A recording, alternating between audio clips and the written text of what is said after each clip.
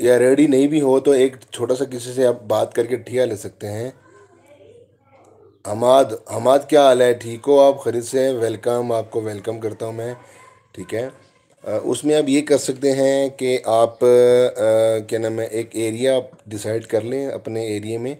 वो एरिया अच्छा हो आपके पास अच्छा एरिया हो, उसको डिसाइड करके वहाँ पे आप ठिया लगाएँ और उस पर आप चिकन बोटी लगा लें या चिकन, ये दुमचियाँ लगा लें। तो उसमें आप टोटल आपका डेली का तीन हज़ार रुपये ख़र्चा आएगा तो तीन हज़ार में आपको हज़ार से बारह सौ बच जाएगा आराम से। तो ये देखें, ये कुछ बिज़नेस आइडिया वगैरह होते हैं जो मेरे पास अवेलेबल हैं आइडिया मेरे पास बहुत हैं।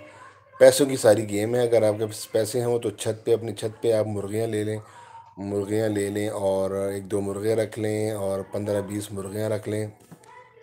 उस पर आप ये कर सकते हैं कि मुर्गियाँ लेंगे तो उसमें आप आराम से बासानी आप उस पर जो है ना, डेली के आपको जो अंडे वगैरह आएँगे, देसी अंडे होंगे, वो आप अपने गली में भी सेल कर सकते हैं। क्योंकि गली में भी लोग ख़रीदते हैं, नहीं छोड़ते। देसी अंडे तो छोड़ते नहीं हैं आजकल तो। बाज़ारी अंडे चल रहे हैं तो उसको भी लोग पसंद करते हैं, लेकिन आप तो वो देसी अंडे खाएँ तो ज़्यादा अच्छा है। तो इन आपको फ़र्क पड़ेगा, काफ़ी इससे फ़र्क पड़ेगा। अच्छा जी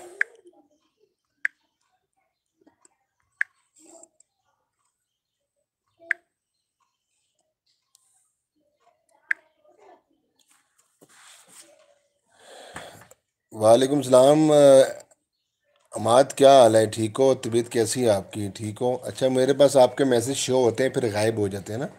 तो मैं फ़र्स्ट टाइम यूट्यूब पे लाइव आया हूँ ना तो मुझे थोड़ा सा इस, इसकी समझ नहीं आ रही ना। लेकिन इन कोशिश तो पूरी है मेरी। और आप सुनाओ क्या हो रहा है? काम शाम कैसा जा रहा है? ठीक जा रहा है आपका? अच्छा अच्छा। सबसे पहले मेरे चैनल पे जो नए लोग हैं नए भाई हमारे मेरे चैनल को सब्सक्राइब भी कर दें। और अच्छा अहमद अहमद क्या हाल है? ठीक हो? अहमद मुझे बताओ मैं आ, मैंने आज का लाइव आ जाऊँ तो आपकी तरफ़ मैं शो हो रहा हूँ लाइव क्योंकि मैं भी मेरे पास ऑप्शन आया लाइव का तो मैंने कहा ज़रा लाइव आ जाए और बिज़नेस आइडिया दे रहा हूँ मैं।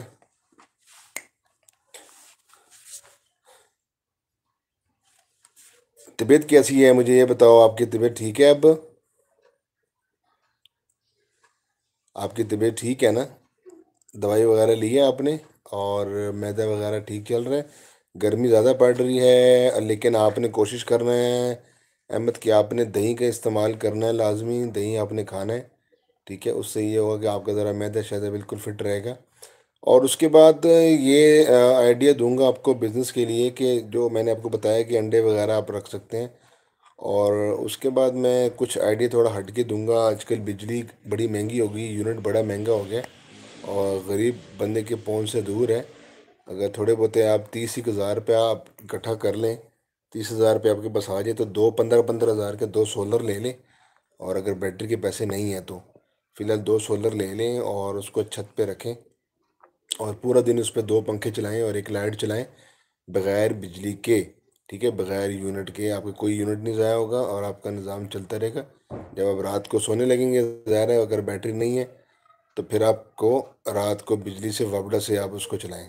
तो ये आपको एक बड़ा अच्छा बेनिफिट होगा और मैं भी इंशाल्लाह भी करने लगा हूँ। मैंने भी सोलर लगाना है और सोलर के लिए आपके लिए छत बड़ी होनी चाहिए।